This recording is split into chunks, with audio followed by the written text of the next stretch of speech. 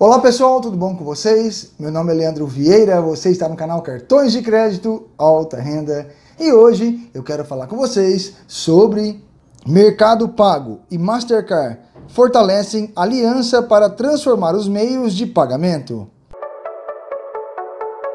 Mastercard e Mercado Pago anunciaram na última semana um novo acordo dentro de sua aliança estratégica para incorporar novas modalidades de pagamento e promover a inclusão financeira na região da América Latina e Caribe. O acordo foi firmado na Argentina, onde Carlos Henrico, presidente da Mastercard para América Latina e Caribe, e Marcos Galperin, CEO do Mercado Livre e Mercado Pago, se reuniram. Há mais de três anos, Mastercard e Mercado Pago trabalham em conjunto com o objetivo comum inovar em termos de pagamentos, ampliando a inclusão financeira na região. A aliança incluiu o lançamento de cartões pré-pagos que espelham o saldo digital do mercado pago e que permitiram que milhares de pessoas na América Latina pagassem suas compras online e offline com Mastercard, alcançando o segmento dos desbancalizados pela primeira vez.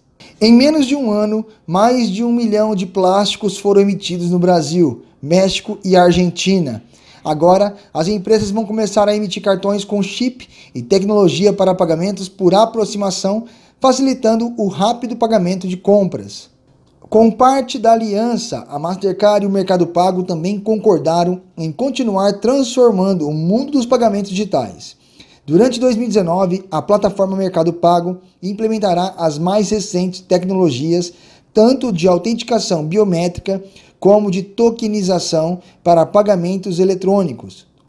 Pois bem, não é de hoje que o Mercado Pago vem se inovando, né? Eu me lembro muito bem quando o Mercado Pago era apenas uma maquininha de cartão e depois lançou seu cartão Mastercard pré-pago internacional né? Junto com a maquininha de cartão deles. O cartão do Mercado Pago é pré-pago ainda. Eles anunciaram também uma parceria com o cartão de crédito, né? E agora também o cartão com a tecnologia contactless por aproximação. Então logo logo deve sair esses cartões aqui no Brasil também, pré-pago com a tecnologia contactless pela Mastercard apesar que alguns cartões pré-pagos já tinham sido lançados com essa tecnologia. Aí pararam de emitir, aí os cartões de crédito vieram com essa tecnologia e agora os pré-pagos devem vir também com essa tecnologia, tá certo?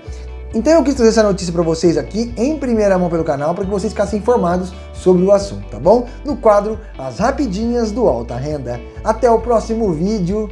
Fique com Deus.